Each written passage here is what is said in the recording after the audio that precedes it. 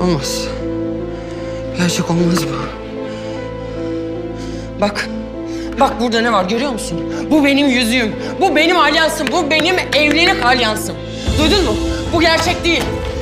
Siz ikiniz, siz iki kuzen beni bununla mı kandıracaksınız be? Bir tane sahte evlilik cüzdanıyla mı kandıracaksınız? Siz beni bu kadar aptaldı sandınız be.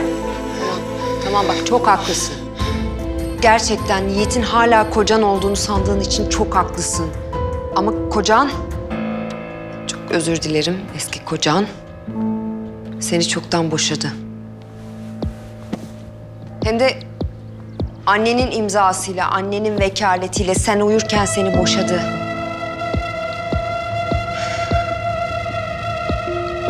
Evet İcdal Hanım. Annenin başından beri biliyordu.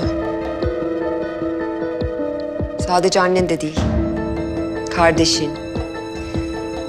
Sinan bu gerçeği öğrendiği için gitti buradan. Cahit de biliyor. Hatta Cahit bilmekle kalmıyor, Nur'un tarafını tutuyor. Nazan cadısı da biliyor. Fırat da biliyor. E bir de biz... Yani anlayacağın... Sen kocam kocam diye etrafta fır dönerken... Senden başka herkes...